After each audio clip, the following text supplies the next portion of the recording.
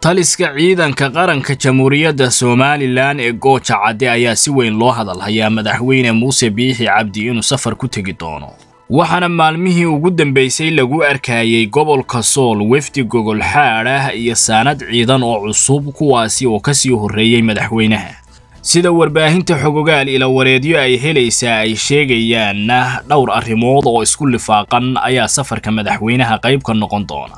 waxaana kow ka ah dhiirigelinta ciidanka qalabka sida ee jamhuuriyadda somalilan kaasi oo ku sugan gobolka sool iyo guud ahaanba bariga somalilan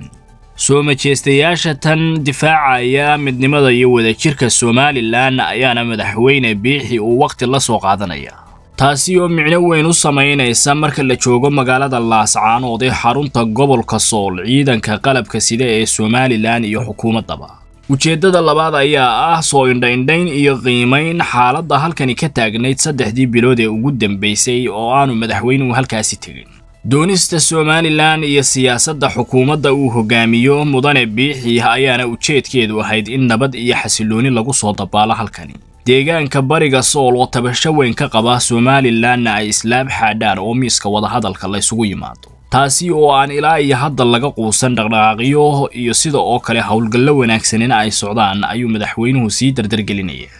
ujeed kale ayaa jira oo ah fariin loo dirayo maamul goboleedka puntland soomaaliya iyo cid kasta oo midnimada iyo wadajirka somalilan ka soo horjeeda. Sida oo kalena doonaysay inay gobolka sool ka goyso somalilan inteeda kale oo tegista madaxweynuhu ay wax weyn uga dhigan tahay waxaana ay soo afmeeraysaa ujeeddooyin iyo rajooyin ay siyaasiyiin kala duwani lahaayeen taasi oo ay ku doonayeen halkani in maamul ka madax bannaan somalilan laga sameeyo. Iyo gobolka kan in maamul goboleedka puntland soomaaliya lagu daro halkaasi oo ay ciidamadeeda si farsamaysan u soo gelisay. Ujondayaashaasi oo ku dhammaan doona safarka madaxweyne muuse biixi cabdi ee ku aadan gooja cadde iyo magaalada laascaanood ayaa waxaa la filayaa inuu bilaabmo dhammaadka bisha rabadaan iyo bacdal ciidka safarkan oo hore loo qorsheeyey bishii rabadaan bartankeedii ayaana wakhtigan dib loogu dhigay.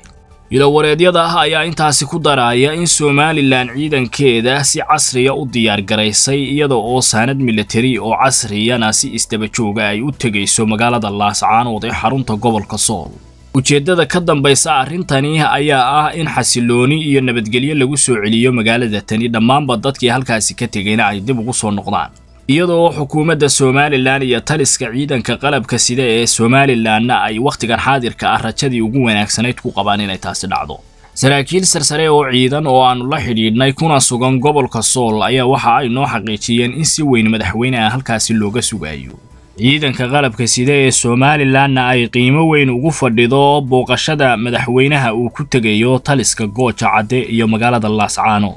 ka farxi ehelkaaga asxaabtaada iyo qaraabadaada. Oo la soo deg abka dahabshiil si aad si fudud lacag ugu dirto. Marka aad la soo degto ablicathonka dahabshiil ee aad lacag ka dirayso isticmaal koorka khadmad la'aanta ee tree free oo kuu sahlaya in saddexda jeer ee ugu horreeya ee aad lacag dirayso aan wax khadmad ah lagaa qaadin. Dahabshiil howlfudaydiyahaaga maaliyadeed